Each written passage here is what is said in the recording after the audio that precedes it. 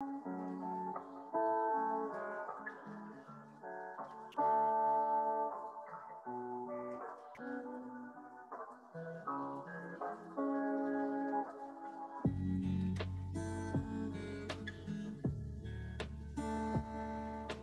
Hello, everyone. My name is Georgie Dent, and I am going to be the moderator of this um, exciting event today. I just wanted to jump on quickly and let you know that we will be um, kicking off in a few more minutes when it gets closer um, to the hour.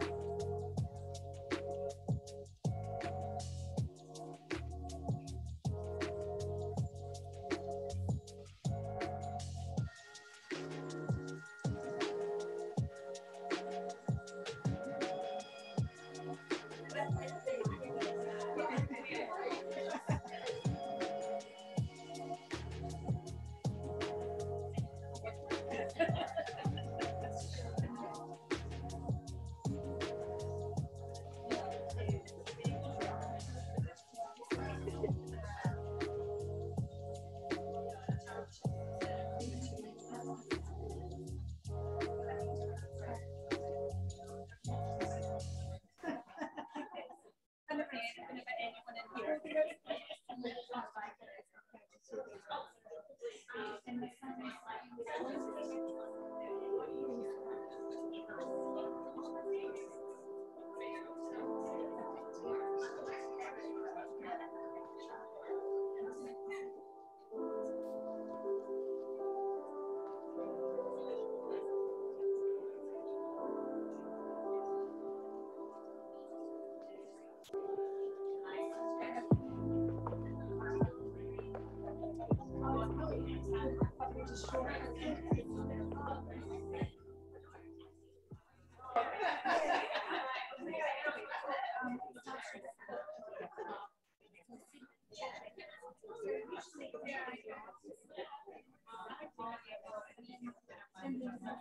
Hello, and welcome to the Women in Tech Are We There Yet event.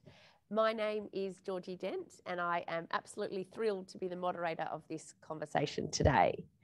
I would like to begin by acknowledging the traditional owners of the land on which we are all meeting. Today, we are going to discuss the challenges that are facing women in technology. And to do that, I've got three fantastic panelists who are going to be participating. Um, here, also in Sydney, we've got Emma Jones, who is the CEO and founder of Project F. Welcome, Emma. In Perth, we have the Shell Australia CIO, Angela Lamb. And in Auckland, we have uh, Watercare's CDO and New Zealand's 2020 CIO of the Year, Rebecca Chenery. Welcome, Angela and Rebecca. Now, despite many conversations about diversity and um, gender in technology, women remain underrepresented, underpaid, and they continue to face discrimination. We want to discuss the roadblocks that continue to challenge women in tech. And we're really wanting today to capture your experiences, your first-hand experiences, so that we can put that into a report that can be shared with talents 9,000 plus clients around the world. Now, the way we're going to capture that information today is via live polling. Now, no one needs to worry. Um, this, no personally, uh, no, none of your personal information is going to be captured and can be used. It is anonymous um, polling. So please um, feel free to answer safely in the knowledge that no one is going to be using this information personally identified to you. Now, to kick off, we're going to have a few questions um, first, just to sort of get that capture some of the demographic information that will obviously be relevant to this report. And the way that this is going to work is that polls will pop up on your screen. Um, and I will get you to take a moment to fill that out, and then we'll continue um, on to the first um, section of the panel discussion. Um, so I believe that those questions should be popping up on your screens very shortly. And they are. There they are.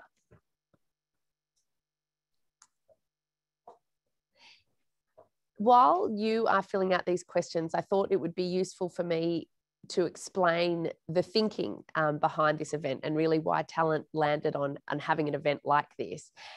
I think lots of you can probably relate to the experience of attending fantastic events where you hear from phenomenal speakers sharing fantastic insights about the, the barriers that are pre preventing women from um, progressing in different careers.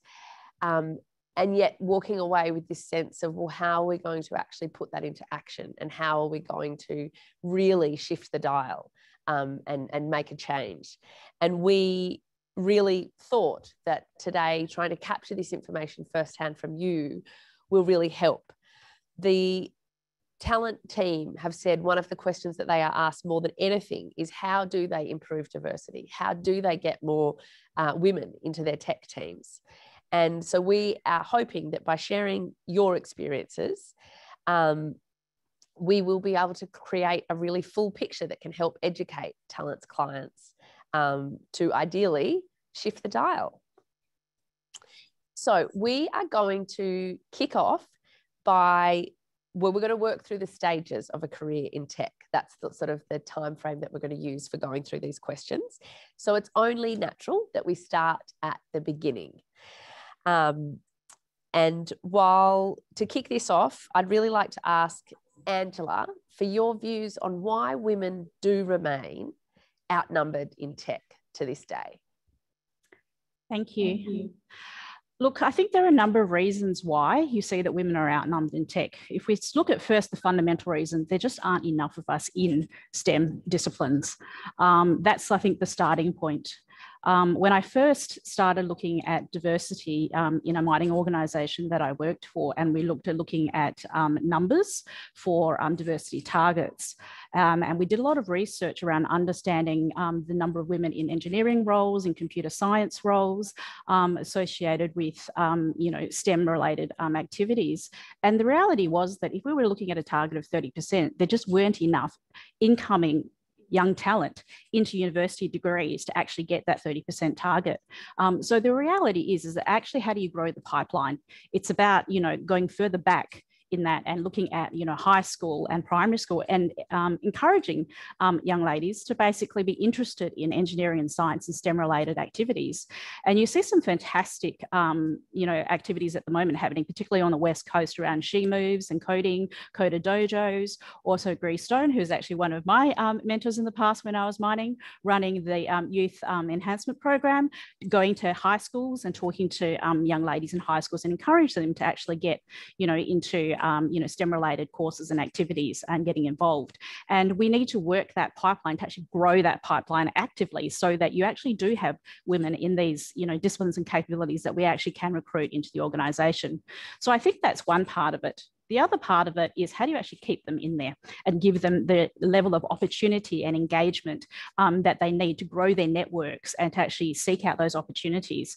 And that's where networking comes into it to actually, you know, make connections with, you know, people who can help grow your network, who can help grow your capability, introduce you to other people, referrals, so that, you know, you can actually continue that, you know, career and growth development, whether it be in the current organization that you're at um, or in another organization.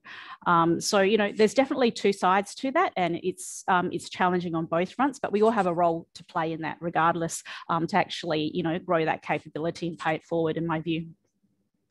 Yeah. Okay. Thank you. That's um, yeah, fantastic insights there that I think really point to why we still have that disparity. Um, we've now got a question for the audience. Um, so if you want to have a think about this question um, what you think have been the biggest hurdles that you've faced in the hiring process. Um, and we'll give you a second there to fill it out. And then we will be able to um, talk to the results because obviously we will be getting a lot of this in, in live in real time. Um, so when we when everyone's had a moment to sort of fill that out,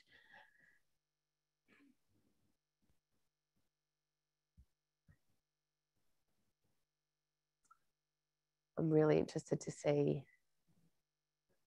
which which one of these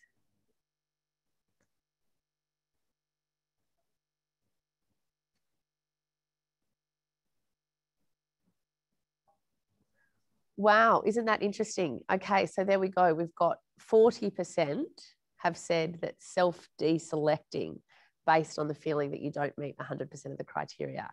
Now, that is very interesting um, because that is something that has come up uh, across many different fields. Um, you know, not just tech, but in politics, in banking, in finance, in law. So many uh, women really. You know, there's that classic research that showed, you know, a woman won't apply for a job if she if she doesn't meet all of the criteria. Where we know that men are more likely to apply for a job even if they meet three or four of the criteria. Um, so really interesting there to see that that is something that you are acknowledging that is an issue for you of sort of deselecting yourself from the process before it even begins. Now, once you are in the door, let's have a look at what are the opportunities for progressing. Um, and Emma, I'd like to ask a question to you now about what are the obstacles that you think women in tech face when it comes to opportunities for development and promotions?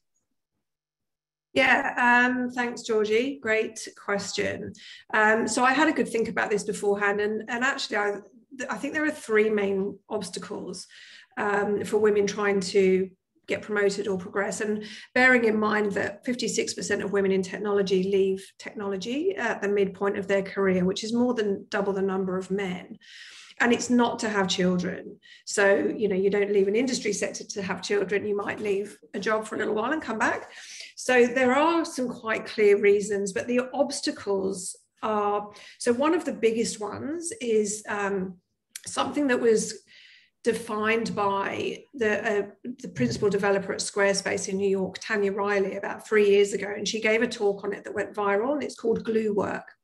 So, what happens is um, the engineering team success is not just about churning out code, it's there's a, there's a lot more to the success of a team. And a lot of that falls to or is taken by women. So when I talk about glue work, what we're talking about is the stuff that is less glamorous um, and seen as, as less promotable. Um, so it's things like writing documentation, setting up team meetings, improving new member onboarding, mentoring and coaching more junior team members, um, in, improving processes, that kind of thing. Um, and what research has shown is that women volunteer for non promotable work 48% more of the time. And that managers ask women to do this kind of work 44% more of the time. So it really can be career limiting. So the reality is, is that it can push women into less technical roles and, and even out of the industry. So it's known as, as glue work. And I'd certainly, you know, recommend anybody to watch Tanya Reilly's um, talk on it. You can search it up and there's um, there are videos of her. It's about half an hour, but it's really worth watching and really understanding and for managers to understand this. Um, the second one is, I think, in and out groups. So we've created a very social environment in technology, which feels great. You know, from the outside, it can look great and very cool. And we talk about lots of social activity in technology. But the dangerous downside of that is that it can create in and out groups.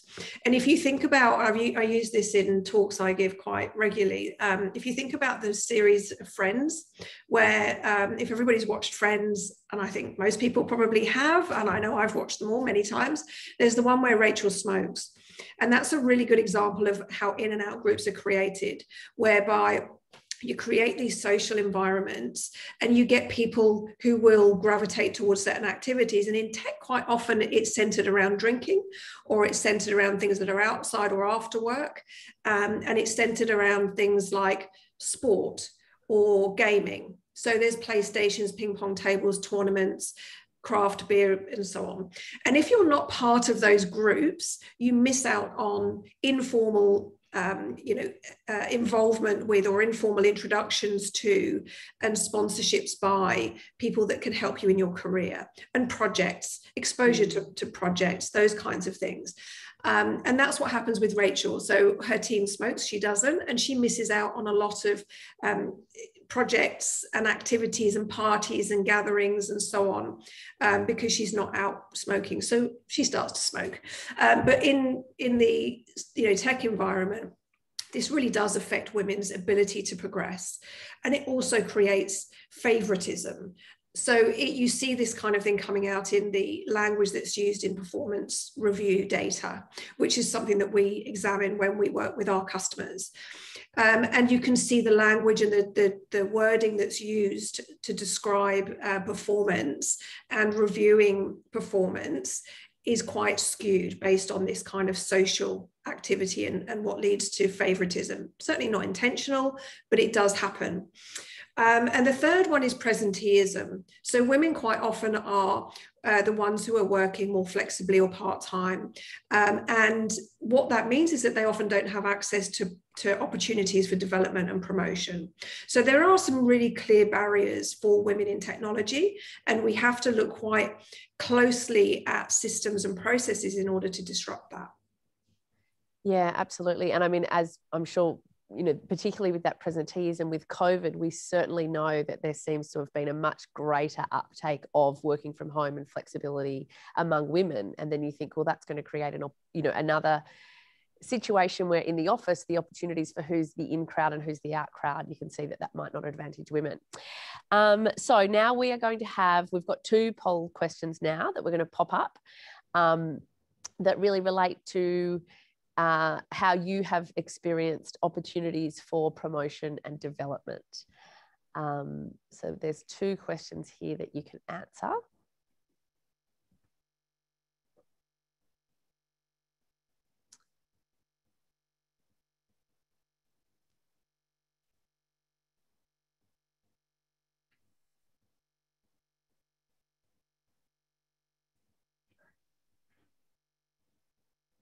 I did also mean to let everybody know that I do sound like I've got a cold because I do have a cold, but it is definitely not COVID. That's the good news.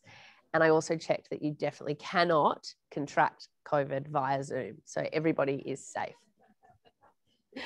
Um, all right. Okay. So what have we got? Okay, well, look, this is good. So 30% disagree that you have been overlooked for promotions due to gender. Okay, so that's quite good news. That 17% strongly agree with that, 28% agree. Do you see a clear path for your career at your current employer? Yes and no. Well, that's interesting, isn't it?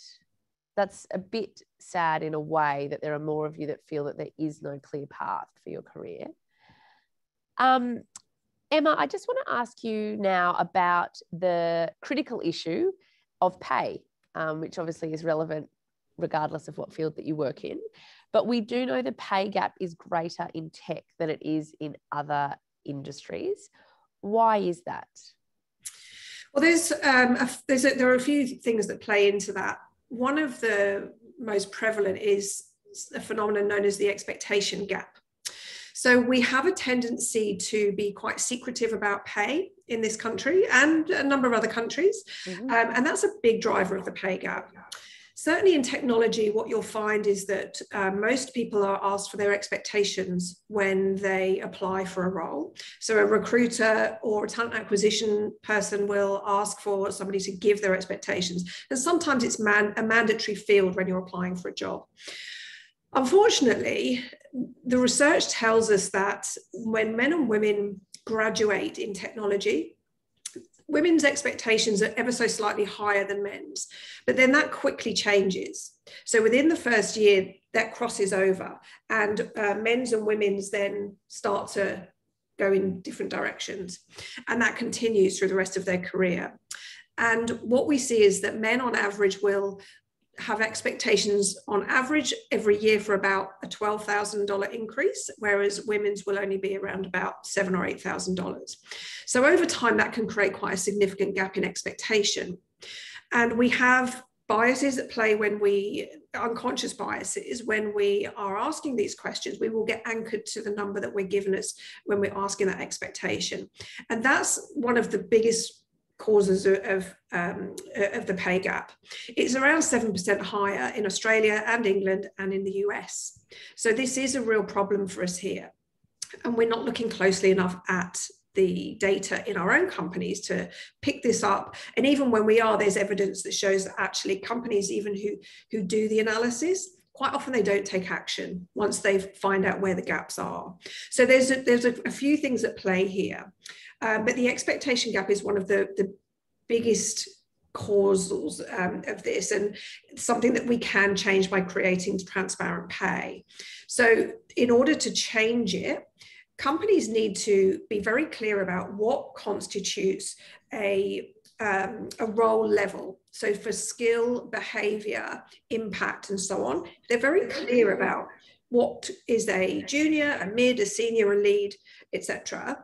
Um, and they can document that and then tie that to pay ranges and communicate pay ranges when they advertise for new roles. That will completely change the and, and level the playing field. There'll be no requirement for people to ask somebody what they think they should be paid.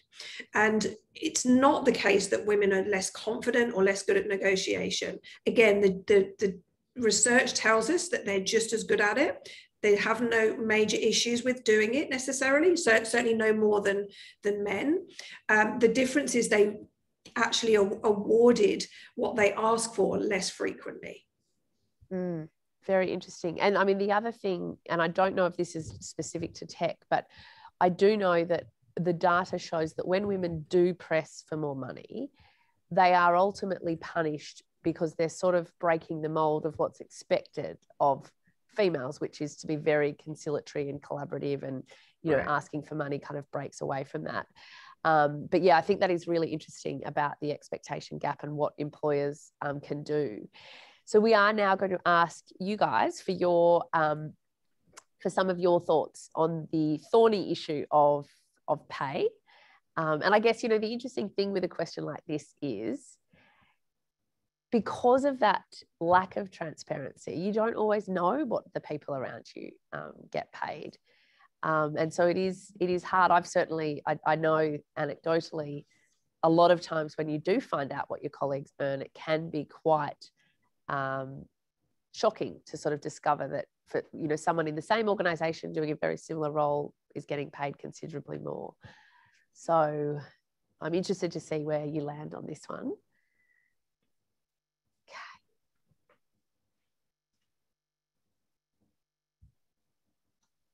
Okay. Okay so you disagree that you are paid exactly the same way and strongly disagree. So not quite a majority there, but there is obviously the sense that you're not paid exactly the same as your male colleagues. Um, and that, I mean, we certainly know that the, the data bears that out, doesn't it? Um, now, Angela, I would love to bring you in now because we're going to talk a little bit about um, leadership and sponsorship.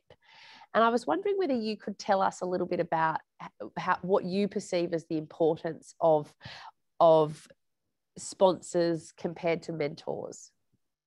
Sure.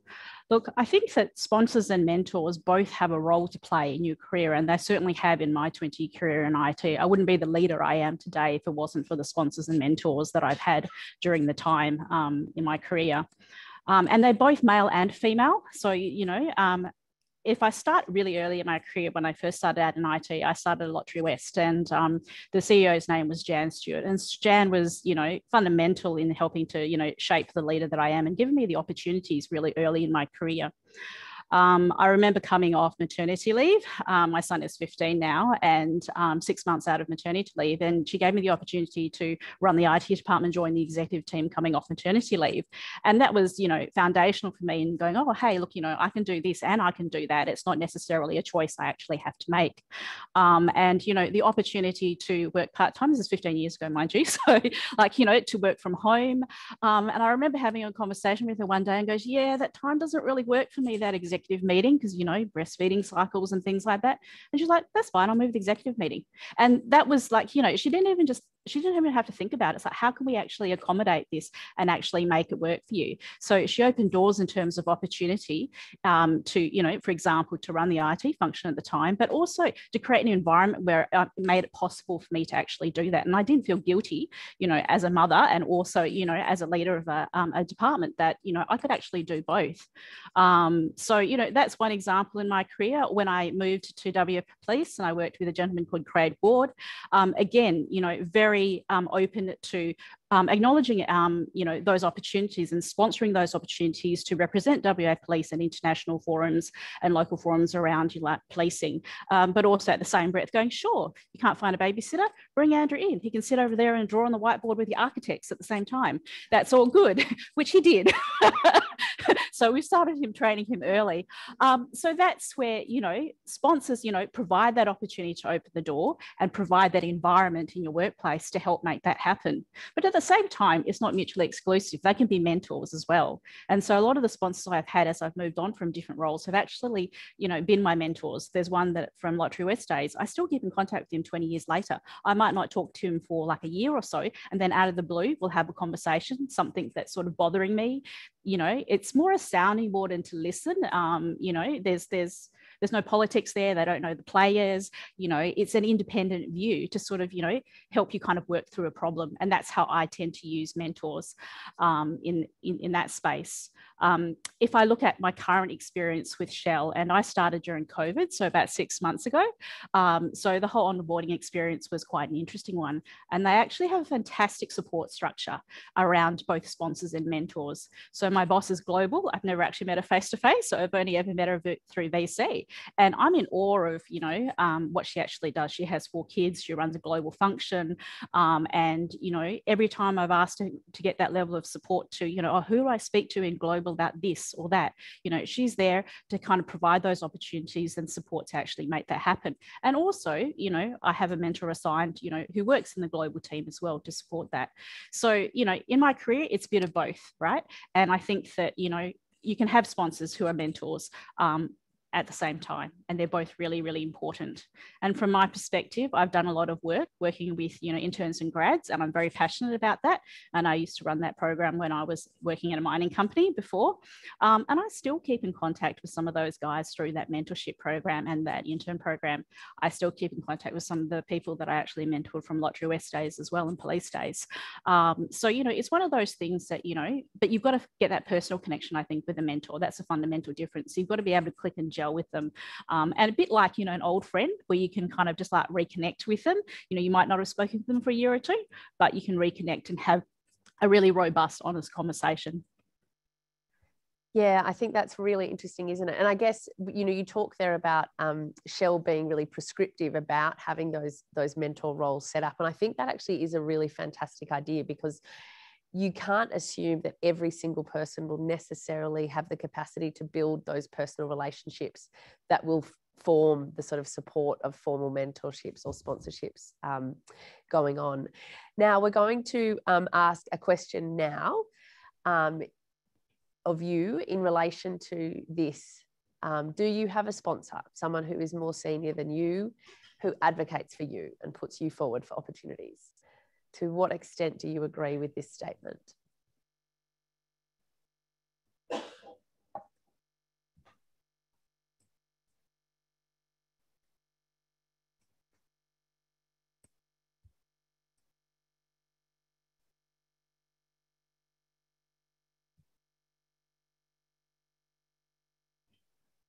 agree and lots of strongly agrees too well i mean look that's fantastic that there is that there are so many of you that do have that um, sponsorship available to you. Undecided disagree strongly disagree is definitely the bigger number overall which i mean it is quite close but considering how powerful a sponsor can be i think that one is pretty pretty telling. Um, now rebecca i would love to bring you in. Welcome. Um, and I'd love to talk to you about what are some of the challenges that you think women in tech face on a, on a day-to-day basis. Thanks, Georgie. Uh, it's great to be here today. I think really picking up uh, on a couple of the points that Angela and Emma have already um, mentioned. First and foremost, uh, on a daily basis, there's a really visible underrepresentation of women, particularly in senior roles in tech. And that means that women have to look a long way and really hard to see themselves. So that um, that affects, I guess, the extent to which they can see role models and the extent to which they feel comfortable putting themselves forward.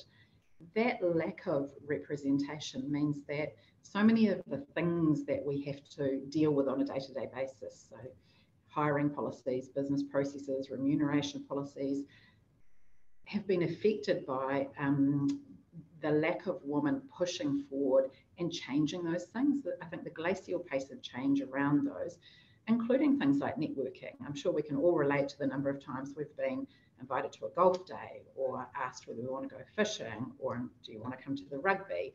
Um, all of which are, you know, um, activities that I myself might ultimately say yes and thank you for the invitation, but they're probably not right in my wheelhouse. And in some respects, they're probably another instance where I feel obliged to try and prove myself. You know, so many of the things that we deal with daily just haven't been designed with women in mind. And the lack of women represented in the tech sector means you're not really getting that push through to change those things. And if you think about how that plays out in, in the world outside of tech, it's right down to really small things like beautiful paving stones that are used to cobble the footpath that are wonderful to look at. But if you're wearing a pair of high heels, they're just about a death trap. Now, so we live in a world that fundamentally hasn't been designed um, with women in mind. But I think uh, for me personally, by far the most significant challenge that I uh, deal with on a daily basis, um, and it links back to one of the poll um, responses earlier, is actually the challenge I put on myself. Um, it, it is that um, that constant need to try and prove yourself. It is the overarching um, imposter syndrome. It is the fact that no one can put more challenge on me than I would put on myself that constant strive for perfectionism. Um, and I guess the, the, the strive to set the standard there is completely unrealistic. And I know that it's completely unrealistic, and yet we continue to do it anyway. Um, so I think, you know, that linking back to the, the fact that a lot of women deselect out of these processes, we know that this is a thing. I think we are increasingly talking more and more about this being a thing. We know that women are wired differently to men our challenge is how do we embrace that rather than continu- continuing to fight that? Um, how do we accept that um, no one needs to be perfect in an imperfect world um, and move forward in a constructive way to improve the situation? Yeah, it's really interesting. I think that um, I don't think I've ever met a woman in all of, you know, I've, I've been a business journalist for a long time, and I don't think I've ever met a female leader um, who has not admitted to experiencing that imposter syndrome. Um, and then just recently, this year, I've seen a few bits and pieces being written about the idea that we live in a world, as you you said, that hasn't been designed with women in mind, and we are trying to occupy these roles that haven't been occupied by women before, or certainly not. You know, it, the dominant position has not been being occupied by women. Therefore, it's sort of inevitable that we feel this imposter syndrome. It's not actually something that's in our head. There's a really genuine explanation for why women might feel that um, in a way that men don't. And I, I think that actually it really made me stop and think that a lot of the fantastically talented women I know who are doing brilliant things who have that sense of imposter syndrome, it's because they are breaking the mold and they're, they're taking on roles that haven't traditionally been held by women. Um, and I think, you know, again, that idea of, of taking pressure off yourself or, or really being conscious, as you have said there, Rebecca, about the unrealistic standards that you're putting on yourself is, is really important. Um, we're now going to ask you about the, the challenges that you encounter in your working environment. Um, and I mean, look, I think it would I think it is fair to say that in 2021 the conversation more broadly around the experience of women in different workplaces is definitely it's ratcheted up a notch I would say. Um, and I think that we are sort of having more nuanced conversations about what does it feel like to be a woman in, in a particular workplace? Um, and obviously we know that at the at the worst end of the spectrum it is the horrendous, horrendous instances of sexual harassment and even sexual assault in workplaces. But even things like being spoken over or not having a seat at the table, those things really contribute to it to a sense that you're not quite as welcome. You know, you're not quite as in um, as the in crowd, as as Emma sort of talked about. Then, okay, yep. So not having a seat at the table or being included in decision making conversations.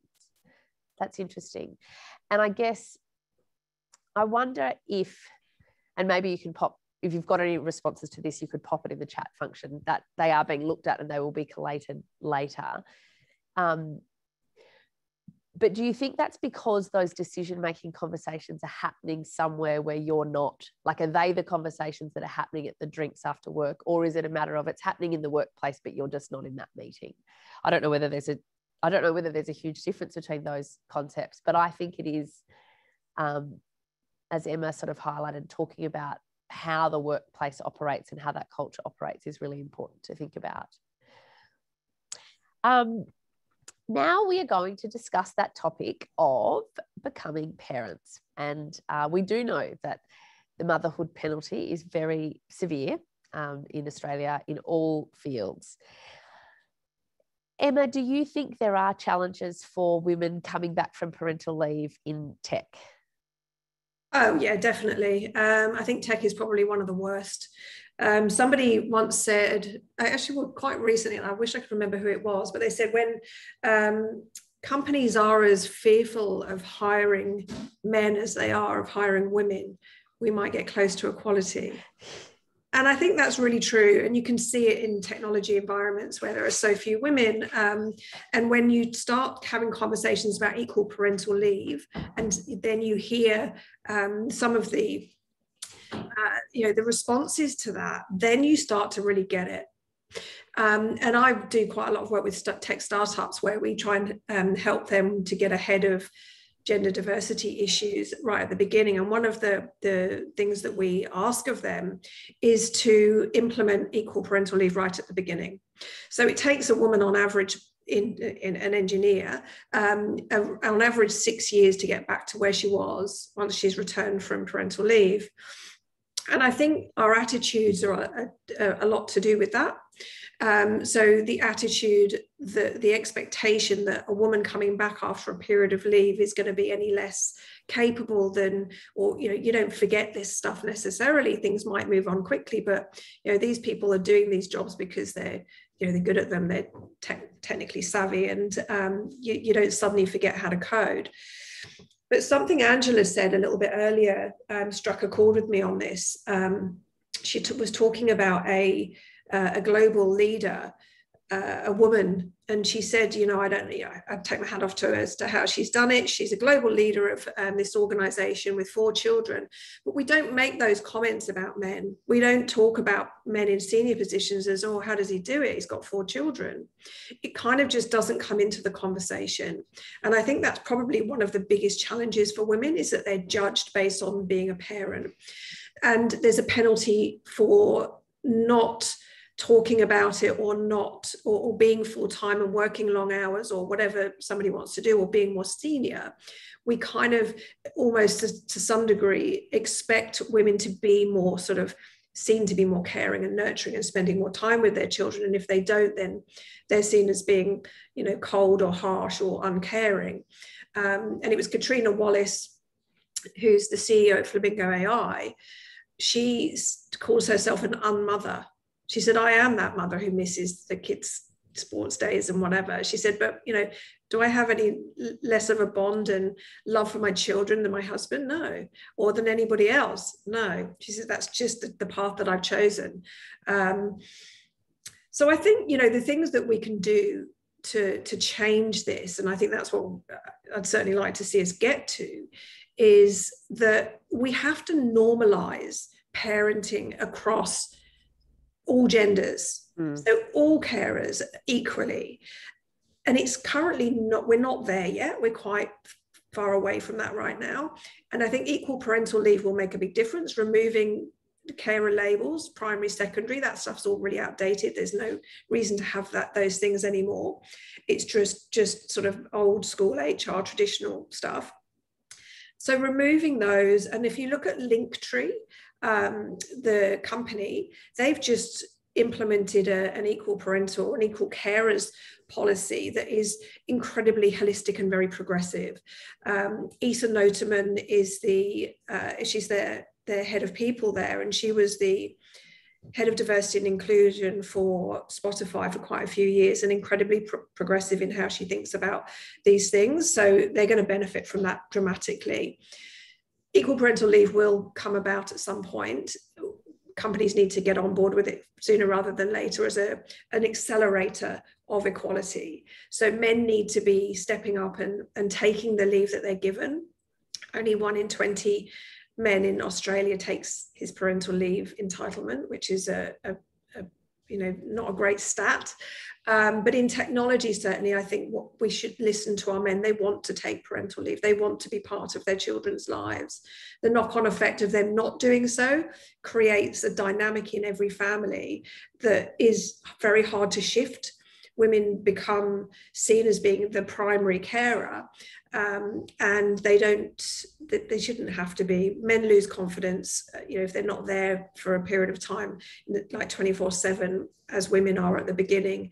Um, and, and we shouldn't tell people who should be primary, who should be secondary. They should just all be parents and share that care equally. It'll make a big difference in the long run. And that certainly, I think, in, in technology is a is a, a, a key focus point. We have to normalize the equal share of care.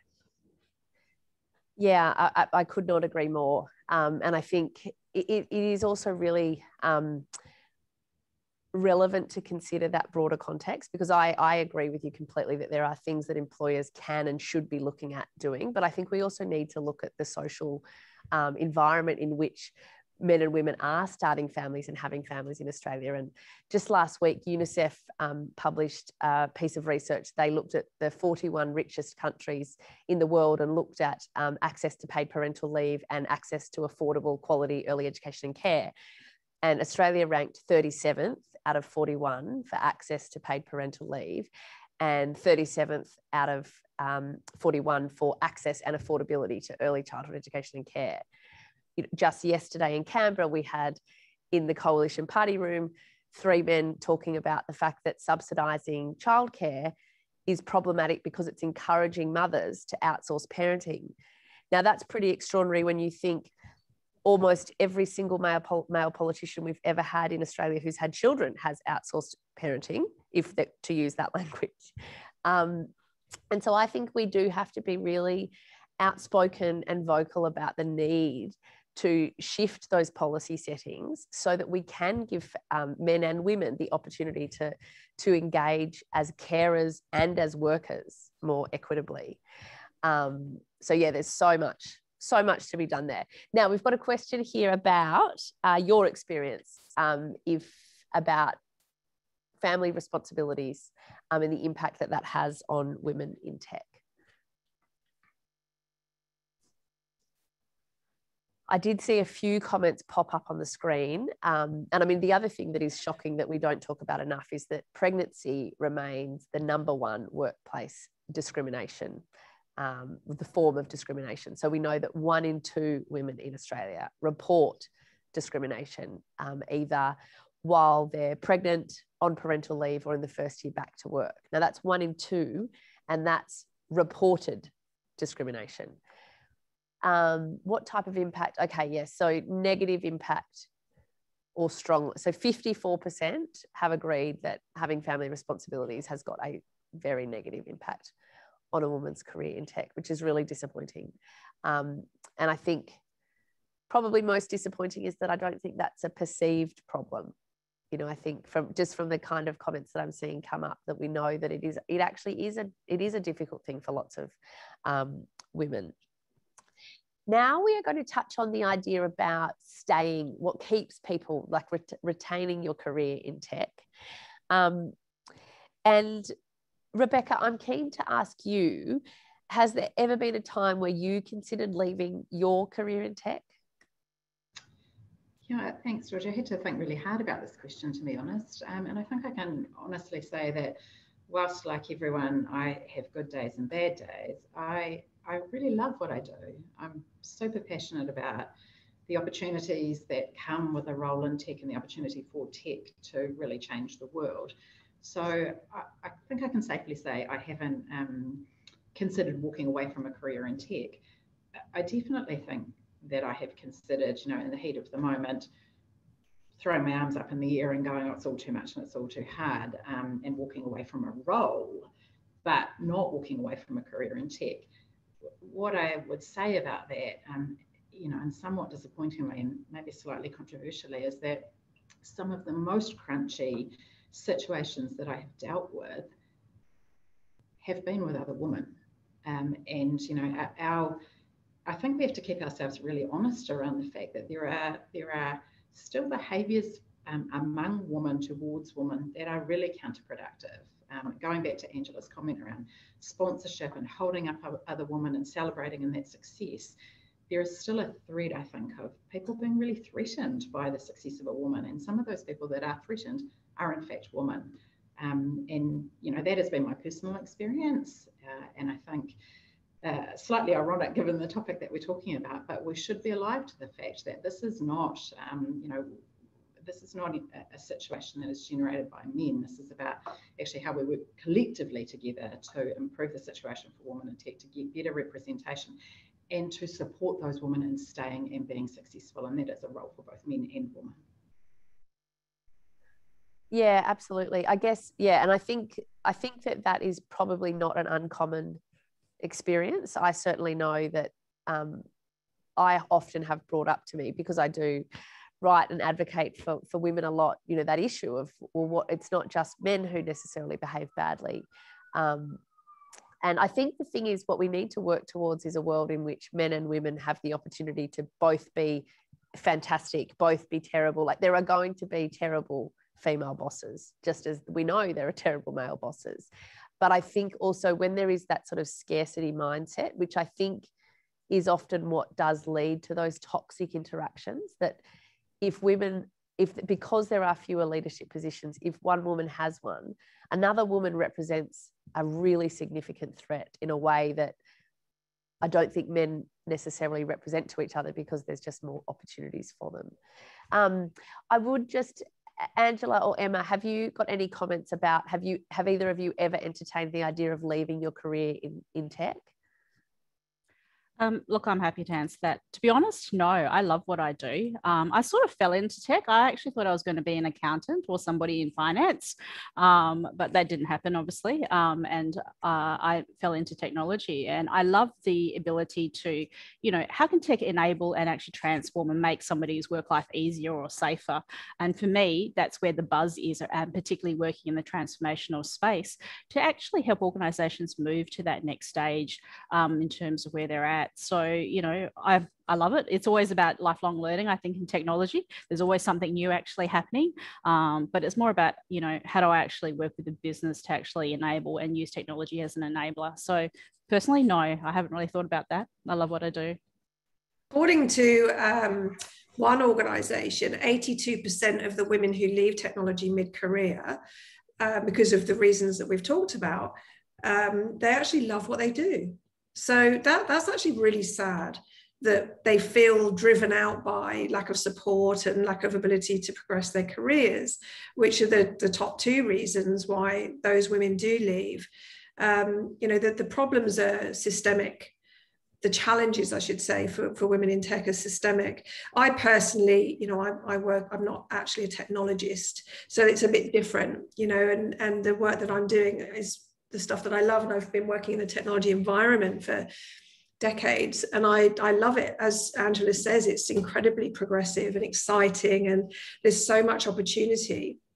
And the other thing is that you're shaping the future of the world. What's what could be better than that you know? You're building stuff. You're creating amazing exciting new stuff all the time. Um, you know and i just think that's really exciting. Yeah Okay, great. Well, let's, we've got a poll for you now about staying in tech um, and why you believe women leave at a higher rate than men.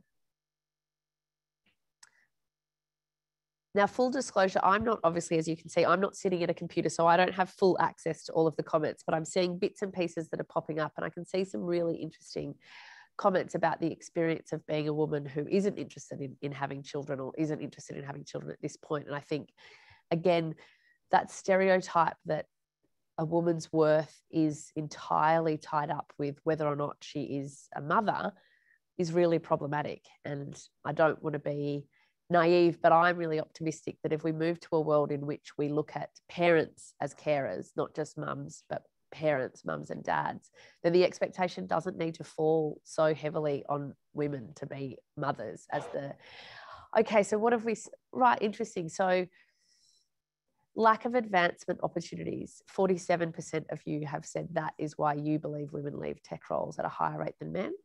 Male dominated culture caretaking long hours isolation sexual harassment even though there's only 6% that worries me and lack of effective sponsors. Okay So now we're going to touch on uh, what I think can only be described as a pretty unique year. I think 2020 and even 2021 is turning out to be full of surprises and challenges. Um, Rebecca, I might start with you. What impact do you think the pandemic has had at all on, on women in tech roles? Uh, yeah, I think uh, some really um, positive impacts and some not so positive impacts. So, um, the notion of flexibility, I think it, it, really has proven to us that actually um, workplace flexibility is a thing. Um, it doesn't um, uh, impact productivity, and in many cases, it improves productivity. And the and the traditional boundaries around the workday are increasingly becoming blurred, and that works for people. So, I think organisations that weren't already on that journey um, have been, you know, accelerated, if you like, into that um, that flexible working journey. And for women, obviously, who have potentially been needing to work flexibly for a really long period of time now, where they may have been able to uh, not able to achieve that or have to operate within, you know, constraints and boundaries. I think it's just been a, a transformational change in that respect. So, you know, really positive.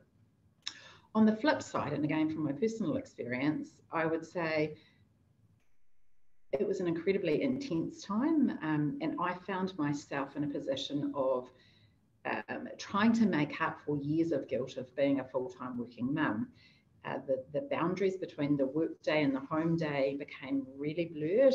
And I find my, found myself doing, you know, crazy things like um, uh, asking my children, I have three kids, um, what they wanted for morning tea and rushing out and making them a batch of scones whilst being on a call at the same time because I could, because I was at home with them and I felt like this was something that I had um, failed to achieve, you know, in being a full-time working mum um, since I'd had kids.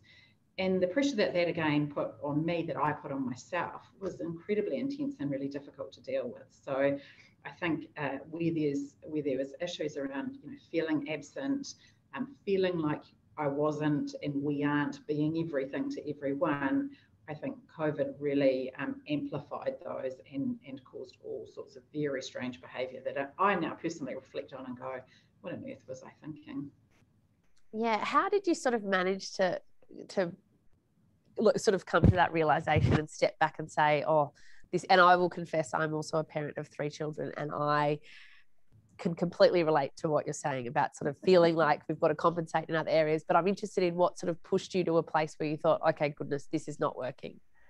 Yeah, um, two um, really distinct separate lockdowns, actually, to be honest. So the, the first lockdown we had in New Zealand, um, right at the beginning of the pandemic, um, the fear of the unknown and, um, you know, the, the fact that the country was very, very locked down that was the period of time during which I um, the, these these feelings of needing to compensate for being absent really amplified, and I spent my time baking and on calls and working all sorts of hours with no boundaries around that.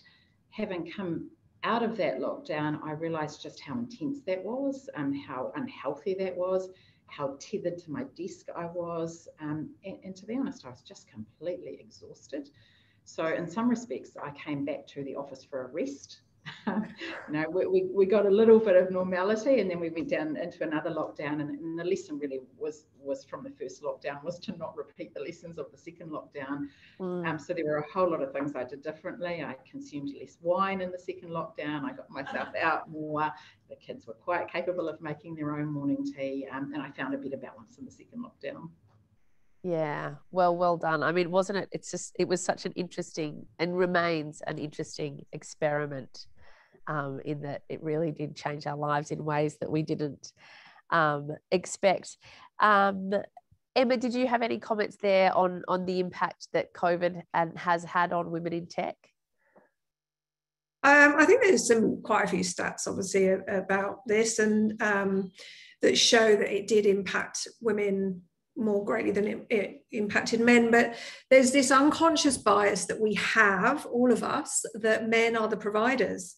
And so there's a you know almost priority given to men when it comes to rehiring. Well, he's got a family to support, you know, that kind of a um, an attitude. And it's not again it's not intentional. These are unconscious biases that we all have where we see men as the providers. Um, and obviously then you know they're incorrect today because it it's it falls to all of us now as parents to provide for our families not just men. But that means unfortunately that it filters down into giving men more of a, um, a crack at the whip than women. Um, and the other thing is, of course, the presenteeism and abs- absenteeism. So where women when the pandemic hit obviously was you know having to eventually stay at home and you know seen as being the ones that had to do more of the parenting you know men would be seen to and I, I say the word seen you know actively that we're talking about the presenteeism so they're seen to be there more. And consequently they're then seen as being more important um, and it's, it was just an unfortunate outcome of that. There were some really good things that came out of it as well, though. So, you know, it was kind of, there was some good and some bad.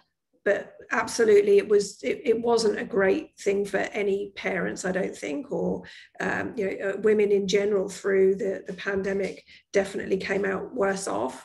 Um, but there are some very clear things we can see out of that that we that can be changed and addressed to, to make sure it doesn't happen in the future. Yeah, fantastic. Okay, well, we've got a question now on that. We are getting closer to the end of this session. We've got one more um, poll after this one. But how would you describe the impact of the pandemic on women in tech?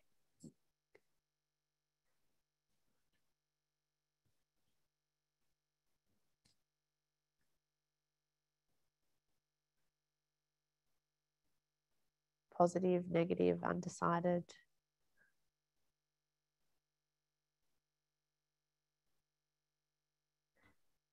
I'll give you 10 more seconds on this one.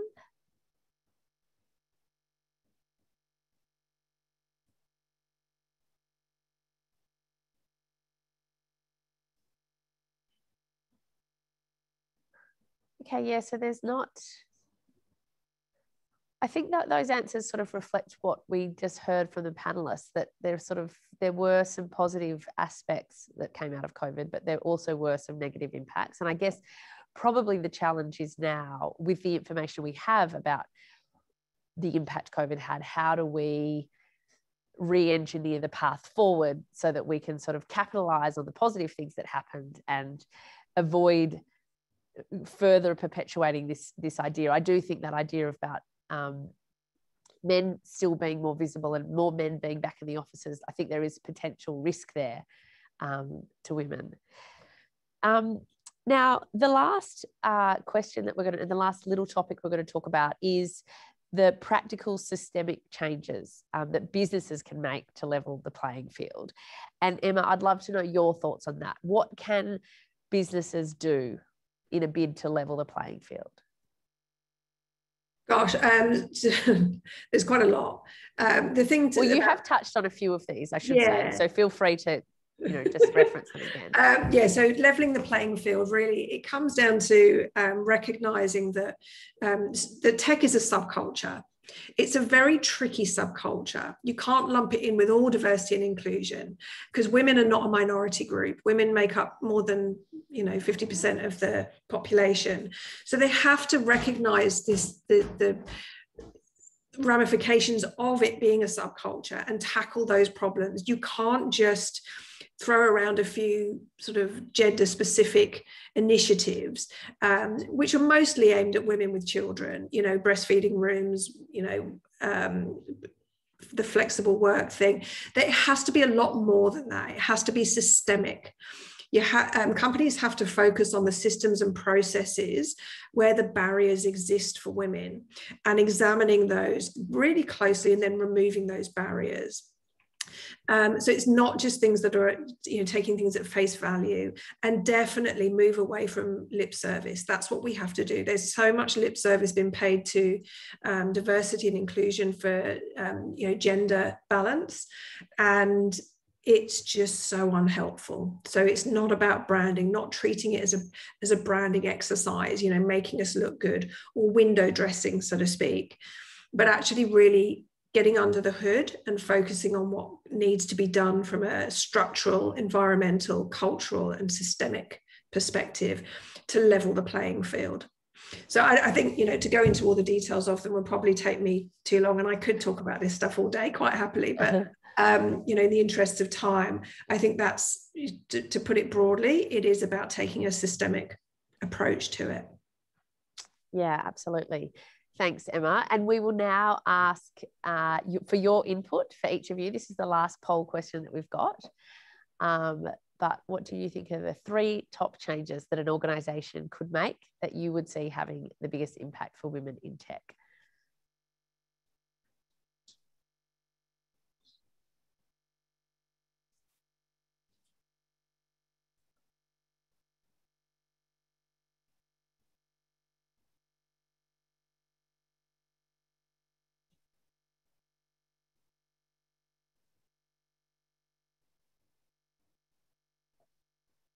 Got 10 more seconds for you to answer this one. And I'm interested to see how the answers are going to come up for this, whether or not there's three clear top winners or whether there's, we've touched on really all of those. Um, okay, promote more women in leadership. Yes. Provide more mentorship.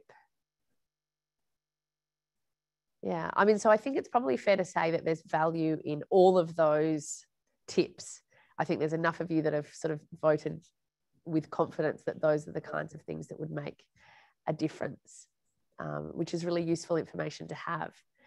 Um, we have now reached um, the end of this session, and I just wanted to thank um, all of our panelists and everyone who logged on and joined in this interactive session today. I would love to thank our hosts, Talent, um, and say that the results, um, the report that we will put together from this will be available in the coming weeks. So please keep your eyes out for that. Um, I would also like to acknowledge the Gadigal people of the Eora Nation as the traditional owners of the land. Thank you so much for all for your time and for your generous insights. Um, we'll look forward to seeing how we can put them all together. So thank you.